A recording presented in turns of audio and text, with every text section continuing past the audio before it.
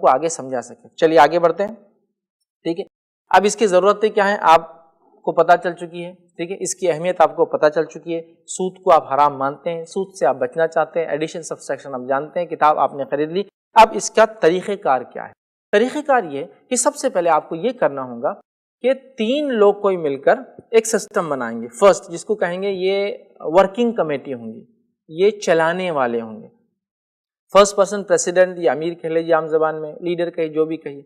Second person जो secretary कह लीजिए आम जबान में जो रहेगा। थर्ड पर्सन ट्रेजरर ठीक है? ये जो भी नाम आप दें एक्स वाई जेड तीन लोग होंगे जो फ़र्स्ट कमेटी के मेंबर होंगे। एक बात याद रख लीजिए, ये जो कमेटी के मेंबर है, इनकी बात मानना तमाम लोगों को लाजिम है। अब जो जो इस सिस्टम का पार्ट बनेंगे, ठीक है? ये तीन लोग उसके जिम्मेदार होंगे मेन पर्सन होंगे। इन्होंने जिसको लोन देना कह दिया, देना पड़ेगा। जिसको कहा नहीं नहीं लेंगे और तमाम लोग उस पर इत्तेफाक करेंगे कि हमारे ये तीन भाई जो है, या तीन बहनें जिन्होंने मिलकर, या एक फैमिली के मेंबर है तो बहन, भाई या मर्द, औरत मिलकर जो भी सिस्टम बना रहे हैं, ये जो तय करेंगे इंशाल्लाह, ये हमारे लिए मुफीद और अच्छा साबित होंगे इंशाल्लाह, ठीक है? तो पहले तीन लोग हो गए, कमेटी बन गई, तीन लोगों से ज़्यादा की बनाई, कोई मसला नहीं, ठीक है?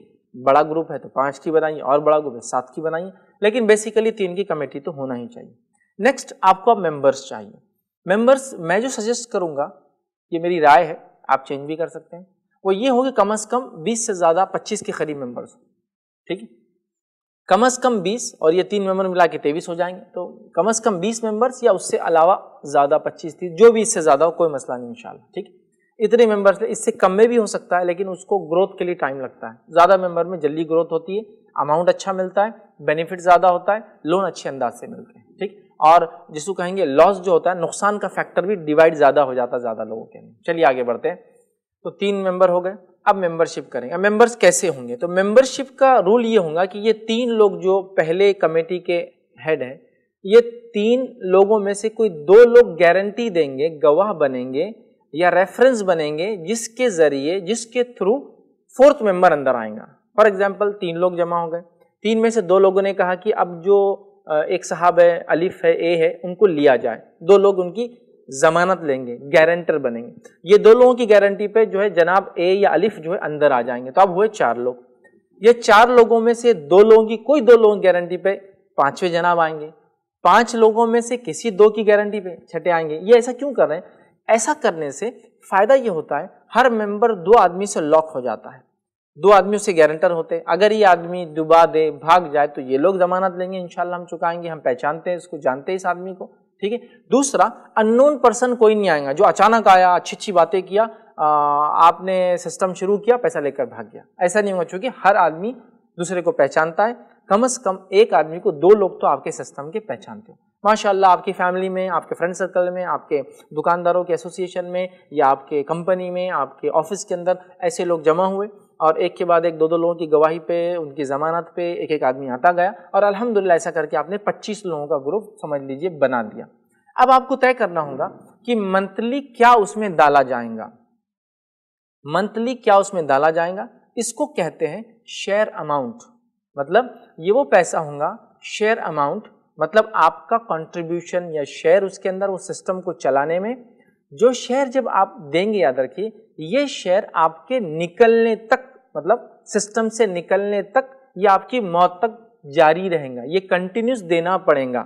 देते रहेंगे आप जब तक इस सिस्टम का पार्ट बिलासुदी सोसाइटी एस एच जी जो भी नाम दीजिए आप बहरहाल, इसके बैतुलमाल इसके आप मेंबर होंगे, आपको ये देना है। इसको बोलते हैं शेयर अमाउंट ये कंटिन्यूसली एवरी मंथ जाता रहेगा। तो अब आपको तय करना है कि आपका ग्रुप शेयर अमाउंट क्या देगा। ये बात याद रखिए कि शेयर अमाउंट बराबर हो मतलब एक जैसी हो। यकसा हो तो फ़ायदा है, वरना अलग अलग लोग देंगे तो उसमें प्रॉब्लम ज़्यादा होते हैं। बट कोई कंप्यूटर वगैरह सॉफ्टवेयर यूज़ कर रहा है तो अलग अलग अमाउंट लेके भी ये सिस्टम चल सकता है, ठीक है? लेकिन एकदम प्लेन जिसको कहेंगे ले मैन को भी चलाना है तो एक जैसी अमाउंट है तो देना भी एक जैसा है लेना भी एक जैसा है ठीक? तो बहरहाल फॉर एग्ज़ाम्पल हम एग्ज़ाम्पल लेंगे एक थाउज़ेंड रुपीज़ वाला हम लेते हैं एग्ज़ाम्पल थाउज़ेंड रुपीज़ जो है हम लोग तय करते हैं कि जमा होंगे। ठीक है? अब कलेक्शन टाइम कलेक्शन टाइम ये होता है कि एक तारीख से लेकर दस तारीख के बीच में अमाउंट जमा होंगे। जमा होंगे मतलब ये 25 मेंबर्स आपके वन थाउज़ेंड रुपीज़ ईच लाकर जमा करेंगे। अब कलेक्शन किसके पास होगा? ये आप तय कर लीजिए। सोसाइटी का प्रेसिडेंट सेक्रेटरी ट्रेजरर या कोई और भी मेंबर मतलब ये 25 में से कोई भी मेंबर जिसकी दुकान हो, जो ज़्यादातर बैठा होता है या कोई ऐसा बिज़नेस पॉइंट जहाँ सब मिल सकते हैं सिटी के बीच में, सिटी सेंटर में आसानी है, कोई भी आदमी बन सकता है। जो ये काम करेगा, वो भी बेलॉस करेगा, वो भी कुछ अल्लाह से अजर तलब करेगा और कुछ इसके एवज जो है उजरत ना ले तो बेहतर है क्योंकि ये सिस्टम नया है। अगर सैलरीज वगैरह ली जाएँगी शुरू में तो बहुत प्रॉब्लम आ जाएँगी, ठीक तो बहरहाल, ऐसा कोई पॉइंट तय कर ले। कोई एक मेंबर के पास हम जमा कर देंगे। अब एक से लेकर दस तारीख तक अमाउंट जमा होंगी। इसी दौरान जिन मेम्बरान को जो इसमें पैसा देते हैं, जो इसके मेंबर है सेल्फ हेल्प ग्रुप के, इस बैतुलमाल के, वो एप्लीकेशन भी देंगे। मिसाल के तौर पर तीन लोगों ने एप्लीकेशन दी। एक ने लिखा कि मुझे टू व्हीलर लेना है सेकेंड आदमी ने लिखा, मेरी बहन का निकाह है थर्ड आदमी ने लिखा, बीमारी है, जो भी है। ये तीन एप्लीकेशन आ गए। दस दिनों में अमाउंट जमा हो गई। एक एक हज़ार मतलब पहले महीने में पच्चीस हज़ार रुपया आप लोगों का जमा हुआ। पच्चीस हज़ार रुपया जमा हुआ, तीन एप्लीकेशन आए। वो तीन की कमेटी, देखिए अब अब यहाँ रोल उनका आता है। वो तीन की कमेटी चूज़ करेंगी सेलेक्ट करेंगी प्रायोरिटाइज करेंगी, उनको जो बेहतर लगता है सोसाइटी के नॉर्म्स हालात, माहौल, माशरा, ज़मीन, ज़माना, समाज को देखते हुए, क्या उनके लिए ज़्यादा बेहतर है कि तीन में से किसको दिया जाए? इसमें यह भी हो सकता है कि एक वक्त में दो को दिया जा सकता है। दो को दिया जाएगा तो अमाउंट कम हो जाएँगी। एक को दिया जाएगा तो अमाउंट ज़्यादा होंगी। तीन को दिया जाएगा और कम हो जाएँगे। क्योंकि आपके जमा सिर्फ़ पच्चीस हज़ार है, पहले महीने में ये बात याद रखें। फॉर एग्ज़ाम्पल एक आदमी ने लिखा कि मुझे सिर्फ़ दस हज़ार की ज़रूरत है। सेकेंड आदमी लिखता है कि मुझे जो कुछ मिल जाए काफ़ी है। तो एक को दस दीजिए, दूसरे को पंद्रह दे सकते हैं आप। जो भी है, ये सोसाइटी तय कर सकती है। एक को दिया जाए, दो को दिया जाए, तीन को। ये बात याद रख लीजिए, अमाउंट आपके पास पच्चीस हज़ार जमा हुआ है। जितने ज़्यादा लोग लेंगे, उतना बढ़ जाएँगे। तो सोसाइटी तय करती है कि एक आदमी या दो आदमी को दे देना चाहिए। अब ये तीन लोगों का डिसीज़न आपके लिए फाइनल है। इसमें कोई इख्तलाफ इंशाल्लाह नहीं होगा ताकि हम ये नज्म को इतिहाद के साथ आगे बढ़ाएँ। एप्लीकेशन आए, पच्चीस हज़ार जमा हुआ, लोन दे दिया गया। ठीक है, एक आदमी को दिया गया, दो आदमी को दे दिया गया। लोन डिसबर्स होगा। लोन डिसबर्स कब करेंगे? एक से दस तक पैसा जमा हुआ। ग्यारह बारह तेरह जब भी आप लगे, लोन दे दें। नेक्स्ट मंथ याद रखिए अब जो आप क्या कीजिए, पच्चीस मेम्बरान की जो मैंने दो किताबें कहा था ना शुरू में डायरी उसमें नाम लिख लीजिए। फॉर एग्ज़ाम्पल दो पेज, एक पेज पे एक नाम लिखे फिर उसका एक दो पेज छोड़ दिए लेजर मेंटेन करने अकाउंट्स की जो बुक्स होती है अकाउंट्स कीपिंग की, नाम लिख लिया one two three four A B C D F G twenty five लोगों के नाम लिख ली ये है शेयर अमाउंट हर माह वो हज़ार रुपया देंगे, इसमें ऐड होगा। फॉर एग्ज़ाम्पल अब्दुलरहमान अब्दुलरहमान ने फ़र्स्ट मंथ वन थाउज़ेंड जनवरी वन थाउज़ेंड फरवरी one thousand one one two हो गया थ्री हो गया। ये इसमें क्या होता है? इसमें बढ़ता जाएगा। अब जैसे ही आपने एक लोन इशू किया तो सेकंड डायरी या सेकंड अकाउंट या लेजर आप मेंटेन कीजिए। वहाँ लिखेंगे अब्दुलरहमान ने लोन लिया। जो कि आप समझो समझो ट्वेंटी फाइव थाउज़ेंड दिया तो वो टॉप में लिख दिए। हर माह जब अब्दुलरहमान साहब वापस करेंगे तो वो twenty five twenty four twenty three twenty two कम होगा, ठीक अब ये बात याद रखिए, जो अब्दुलरहमान साहब ने लोन लिया, अगले मंथ जो वो पैसे देंगे तो वो एक हज़ार नहीं देंगे। एक हज़ार तो शेयर अमाउंट है, जो कि हर महीने देना ही है, जब तक मेंबर पार्ट है सोसाइटी का एसएचजी का या जब तक उसको वो इंतकाल ना कर जाए, तब तक तो देना है। अब ये लोन अमाउंट कैसे वापस करेंगे? तो अब्दुलरहमान साहब जिसने लोन लिया है, वो दो हज़ार रुपये वापस देंगे। मतलब सारे मेम्बरान वन वन थाउज़ेंड देंगे अब्दुल रहमान साहब टू थाउज़ेंड रिटर्न देंगे। एक उनका जाएगा शेयर अमाउंट में, एक उनका जाएगा लोन अमाउंट में। मतलब लोन उनका माइनस होगा। शेयर जो अमाउंट है वो बढ़ती ही होती है, हमेशा बढ़ती है। और लोन अमाउंट याद रखिए, वो जो लेगा, उतना लिख दिया जाएगा, जैसे दस हज़ार दिया फिफ्टीन थाउज़ेंड दिया twenty thousand twenty five maximum limit है आपकी। वो माइनस होता जाएगा, याद रखिए। तो आपने वो भी अकाउंट मेंटेन किया उनका। तो आप अब्दुल रहमान साहब नेक्स्ट मंथ देंगे वन थाउज़ेंड एक्सेस वो होगा उनका लोन अमाउंट रिटर्न याद रखिए। ठीक है, इसमें कोई ज़्यादा पैसा कोई देगा नहीं, कोई लेगा नहीं, याद रखिए। चलिए सोसाइटी शुरू हो गई दस दिन चालू हो गया। अब नेक्स्ट मंथ जब आता है तो नतीजा ये होता है नेक्स्ट मंथ कि आपके पास जो अमाउंट आता है, वो अब छब्बीस हज़ार आएगा। कैसे? ट्वेंटी फाइव मेंबर्स के twenty five thousand Abdul Rahman साहब जो एक मेंबर थे, उन्होंने एक लोन लिया था, उन्होंने टू थाउज़ेंड रिटर्न किया। वन थाउज़ेंड तो शेयर अमाउंट है वन थाउज़ेंड लोन रिटर्न है उनका। तो अगले मंथ आप क्या जमा हुए? Twenty six thousand third month twenty eight thousand fourth month twenty nine thousand fifth month thirty thousand मतलब हर महीने बढ़ रहा है।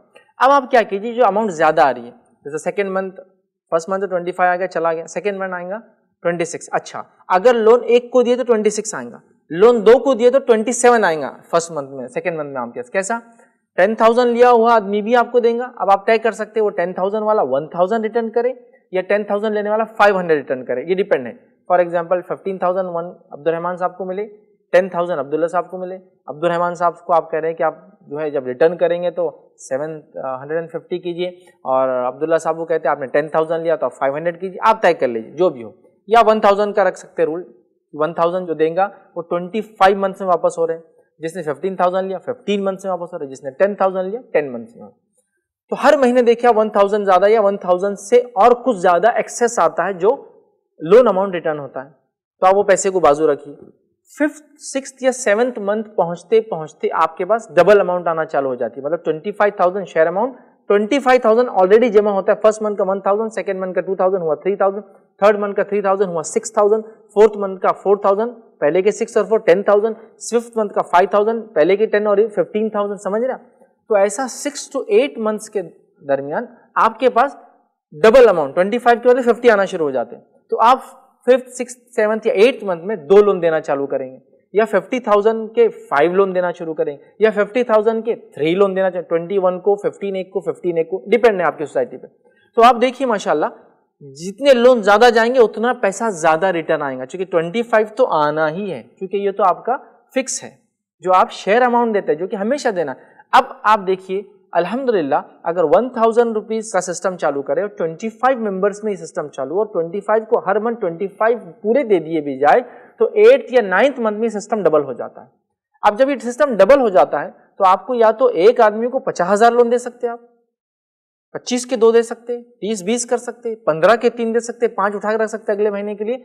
ये सिस्टम में खैर और बरकत इतनी ज़्यादा है जब आप शुरू करेंगे इनशाला जीज की, जिसकी कोई इंतहा नहीं। लेकिन मसला वो ये शुरू करने के बाद, सोचते रहे तो ये तो कभी नहीं होने वाला है, ठीक है? बंदर का घर कब बनेगा, उसकी कोई जो है, वो नहीं हो सकता, है ना? मिसाल है, बंदर सोचता बारिश है तो घर बना लूँ, बारिश चलेगी बोलता बाद में देंगे वैसा नहीं। कोशिश करेंगे तो होने वाला, नहीं करेंगे तो आप दस साल बाद फिर वो सोचेंगे हाँ चलाना चाहिए था अच्छा था। कुछ नहीं हो पाएँगे, ठीक है? तो अब आपको क्या करना है? ये सिस्टम को शुरू करना है। ये system every eight to nine month double होता है। मतलब 25 के बदले 50 का लोन शुरू हो जाएगा 9-10 महीने बाद 50 के बदले और 10 महीने बाद पचहत्तर हज़ार का लोन हो जाएगा और दस महीने बाद एक लाख का लोन होगा। आप अंदाज़ा लगाइए, एक लाख का लोन बिला सूदी। लेकिन याद रखिए एक चीज़ return amount 24 to 25 month 24 month रफली लीजिए। 24 मंथ से ज़्यादा ना हो। फॉर एग्जांपल 25 अगर लिया तो 1000 पर मंथ देगा। 50 लेंगे तो 3000 per month 1000 share amount 2000 loan amount अगर 75000 अगर लोन दिया जा रहा है तो 1000 शेयर अमाउंट 3000 लोन अमाउंट चूँकि लोन दो साल में वापस आना है, इस बात को आप याद रखें, ठीक? अब आप इसको मुख्तलिफ़ तरीक़ों से इसको आप बहरल चला सकते हैं, जितना लोन दिया जा रहा है जितने ज़्यादा लोगों में लोन जाएगा, उतना ज़्यादा रिटर्न आएगा और उतने जल्दी जल्दी ज़्यादा लोन बनता जाएगा। अल्हम्दुलिल्लाह, मैंने खुद ज़ाती तौर से देखा है, लोगों ने इस निज़ाम को एक एक हज़ार से चालू किया। आज अल्लाह के फसले लाख लाख, दो दो लाख रुपये वो तीन से चार पाँच साल में एक दूसरे को बिला सूदी दे रहे हैं। आज के दौर में याद रखिए, एक पच्चीस हज़ार में समझ सेकेंड हैंड टू व्हीलर आ जाती है। पच्चीस हज़ार में एक आदमी अपनी हथगाड़ी छोटी मोटी कोई दुकान, छोटी एक टपरी चला सकता है। ठीक है? बहुत बड़ी बात। अच्छा मुझे तो ज़रूरत नहीं है।